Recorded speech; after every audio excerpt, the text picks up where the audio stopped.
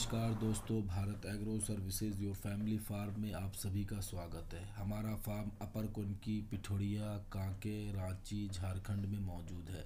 जैसा कि आप जानते हैं कि Bharat agro services your family farm black Bengal goats में डील करता है।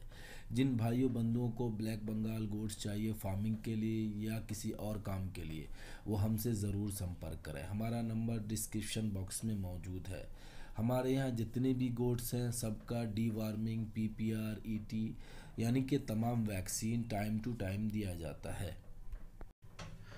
दोस्तों ब्लैक बंगाल के बारे में कुछ आप लोगों को ज़रूरी बातें बताता चलूँ।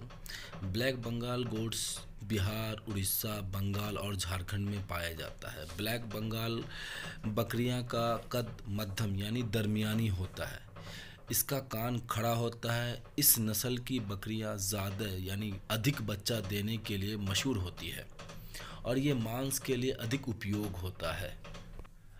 ब्लैक बंगाल गोड्स का इम्यूनिटी पावर बहुत ज़्यादा स्ट्रांग होता है। ये हर जगह के वेदर में सूट करता है।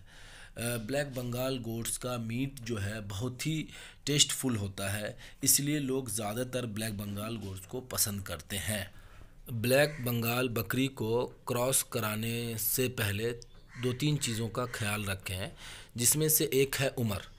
उसका एज कितना होना चाहिए? तो उसका एज जो है कम से कम आठ महीना होना चाहिए। इसके बाद ही आप क्रॉस कराएँ। दूसरा चीज़, जब आप क्रॉस कराएँ तो बकरा और बकरी को बिल्कुल ही अलग रखें।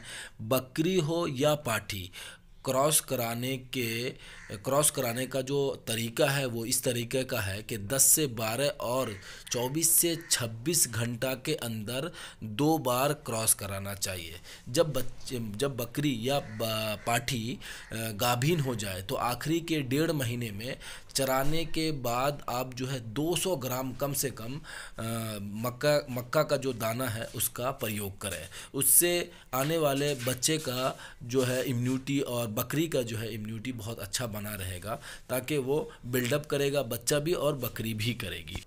ब्लैक बंगाल बकरी के बारे में पूरी जानकारी के लिए आप हमसे ज़रूर संपर्क करें। हमारा नंबर डिस्क्रिप्शन बॉक्स में मौजूद है।